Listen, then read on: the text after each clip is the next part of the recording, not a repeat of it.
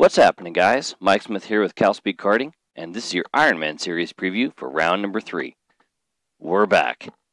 It has been four months since the Ironman Series took to the twists and turns of CalSpeed, and with the reopening only happening one week ago, this will be the very first racing event since the Sprint Series back on March 7th, just before the shutdown took effect. The last time the checkered flew for the Ironman drivers, it was Paulo Franca scoring the W, joined by Michael Hazelwood and Sean Feit on the podium. Is also the return of the forward direction at CalSpeed, with the Sportivo layout in place for the first time in over a year, the last time we were heading in the clockwise direction being August last year for the Classical Grand Prix weekend. This is almost going to feel a little bit like a season opener, but the reality is that there are two events already in the books. The key thing to point out is the fact that a few things have changed in the schedule. It's now 8 round championship instead of 10, and only one drop instead of two. Further, while uh, this is originally scheduled to be a two hour, that has been scrapped, and instead there is only one two hour race on the calendar, which is still the penultimate round in September. And remember, there's plenty of new procedures and protocols in place, so be sure to familiarize yourself with them via our website and other media channels. Things may look and feel a little different with all the new protocols and procedures at the track, but once the visor goes down, it's all going to be the same. All the more reason to dive into our first preview back. We have plenty to cover. Sportivo is going to be the track this weekend. 13 turns, 0.659 miles long, so it's uh, one of our shorter uh, race uh, racetracks.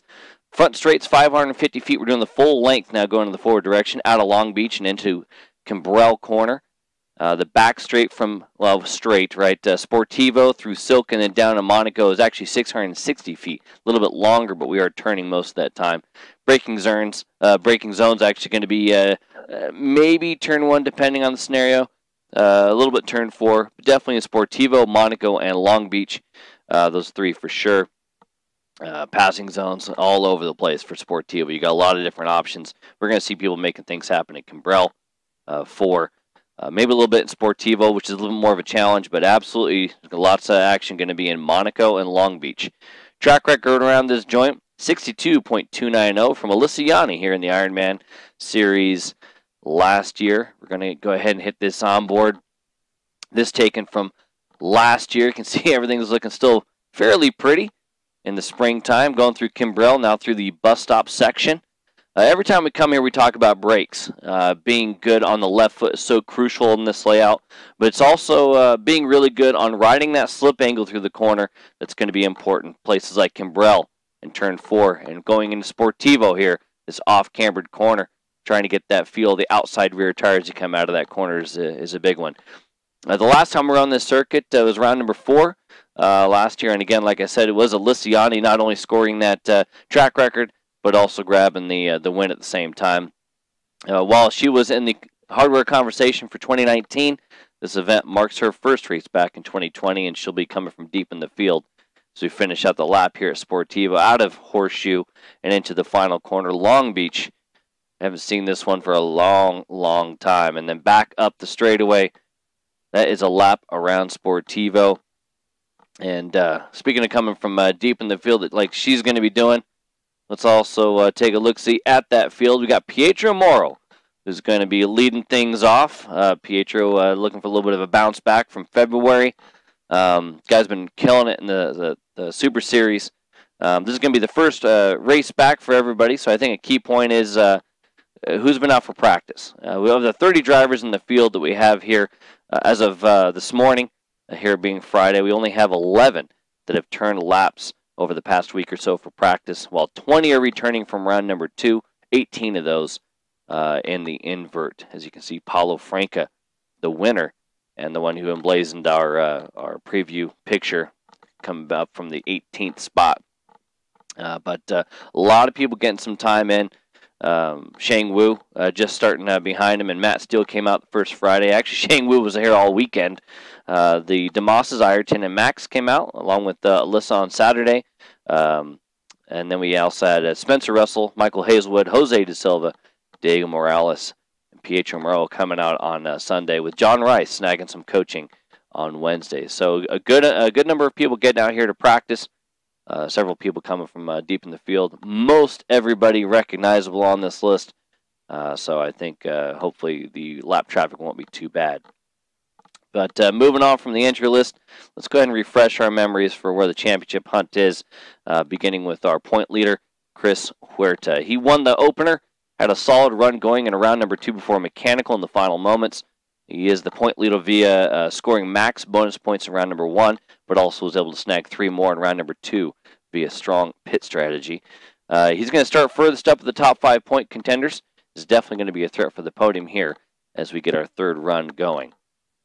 Paulo Franca, as we said, he is the guy uh, that uh, is emblazoned on the the uh, event photo. Our reigning Ironman champion won round number two, uh, as we said on the the photo for it. Uh, like, in case anyone forgot, he's certainly a guy everyone keeps an eye on when when you come on out here. Uh, getting, I think, two career wins here, uh, and then being our champion. Um, he'll be coming from 18th on the grid, but that doesn't mean much for a guy who has an 80% top five finishing percentage. Uh, he's almost always up there. Uh, Sean Feit, he may be third in the overall standings when a drop is taken into account, but he actually leads all drivers in total points earned with a pair of podiums to kick things off regardless of how this weekend goes, I would expect him to, to keep a spot in the top three or better, but I'm sure he'll be looking to make it three podiums in a row this weekend. Uh, Michael Hazelwood has proven he can cut laps and link up with the best of them, but has had a little bit of a tougher time when he's had to come up through the pack. Round number two saw him score his third podium in six career races, dating back to round seven last year, but the other three were outside the top five. So this weekend is a chance for the up and coming talent uh, to break that mold and see if he can make something happen from a little deeper in the field, coming from 17th.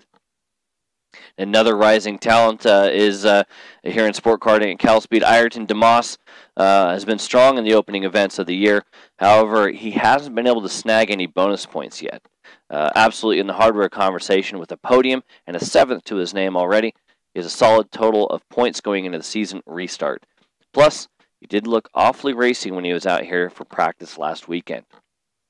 Going into our wild cards, we've got to talk about uh, consistent front runner Alyssa Yanni. Missing the opening two events to uh, to work was always going to make a, a title run a tough ask, but with the quarantine shortening uh, shortening the season to only one drop, uh, she's officially uh, playing the spoiler from now on. That, however, is a role she's going to excel at.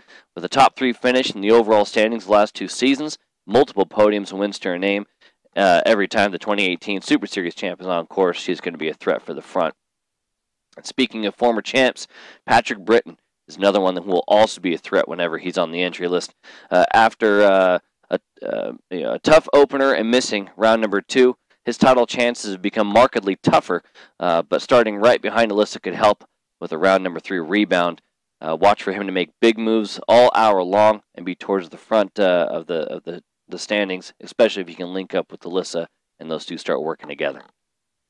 So there we have it, the preview for round number three of the 2020 Ironman Series. Thanks again for watching. We'll see you at the track.